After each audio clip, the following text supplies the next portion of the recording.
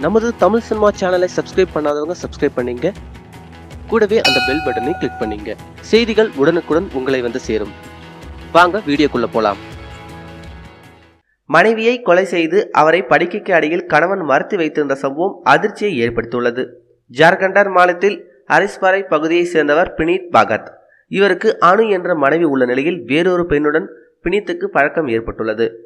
இதையடுத்து அனு அவரிடம் தொடர்ந்து இதை குறித்து சண்டை போட்டு வந்துள்ளார். இந்த நிலையில் இந்த சண்டை கடந்த இரண்டு தினங்களுக்கு முன்னர் மீண்டும் துவங்கியுள்ளது. அப்போது ஆத்திரமடைந்த பினித் மனைவியான அணுவை கொலை செய்து தலையை துண்டித்துள்ளார்.